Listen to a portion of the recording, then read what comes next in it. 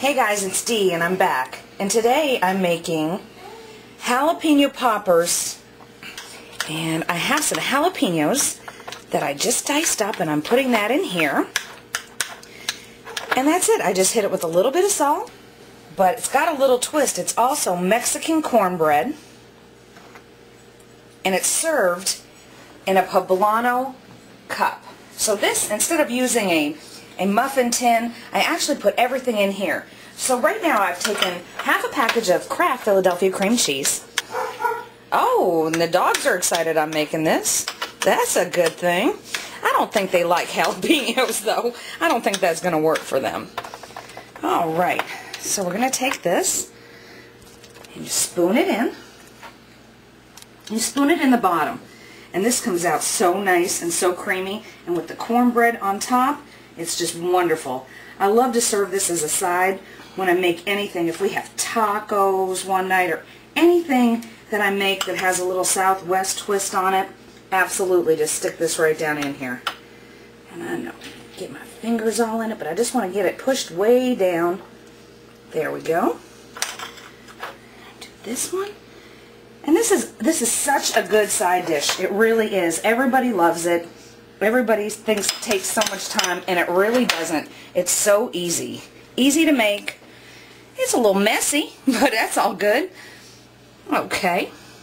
We got that in there. Now it's time to whip up the cornbread. Give my hands a quick rinse. All right. Now, on the cornbread, guys, if you want to, you can go ahead and you can buy a cornbread mix. That's fine. Um, usually those are pretty sweet, and I don't really like the sweet with this combination, so I make my own. And I just make, I take a cup of cornmeal, I take about a cup of cream corn, half to three quarters cup of milk, a couple tablespoons of oil, and I have one egg. And again, I'm going to hit these a little bit of salt, okay, and a little bit of pepper. There we go. I'm going to mix this up and make sure that it's a, at a decent consistency. I don't want it too runny. If I have to, I can always go back and add a little bit more cornmeal. But I think this is going to turn out just about the right consistency. That's pretty good. That's pretty good. I think I might need just a little bit more of the cornmeal. So I'm going to go ahead and just sprinkle some in. You got to look at it and see, you know, you, you, take different recipes and you mix them up. sometimes you have to add a little bit more, you know, and just work with it so it's, it's what you want. The final product is exactly what you want. Okay, and last, oh, I got some cheese. And I used, um, it's a Mexican three cheese combination. And again, jalapeno peppers. And this really gives it a good kick. And I love baking it off. It just gives it such a good smoky flavor. And it turns out just absolutely wonderful. So you're just going to spoon this on here. Just spoon it up on top.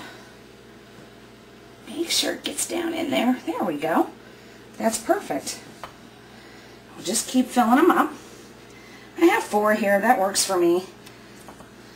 Everybody gets to have one. That's a good thing. Alright. Almost done.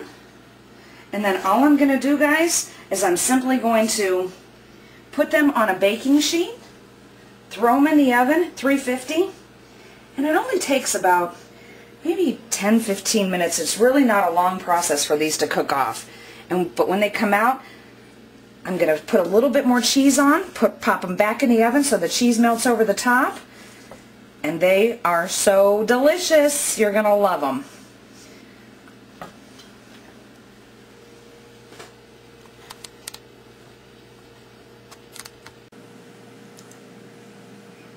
Hey guys, I'm back, and we just got these peppers out of the oven.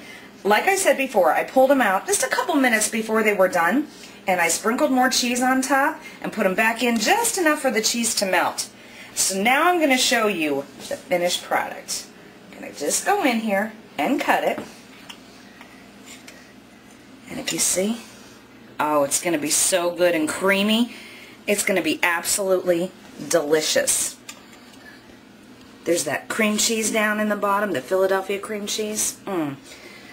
Now this is so good. You can serve this, again, with any type of dish that you want to. It's a great side dish that just really adds a lot of flavor and a lot of fun. People love the presentation of it in the Poblano Pepper Cup. So enjoy. Have fun. That's what it's all about.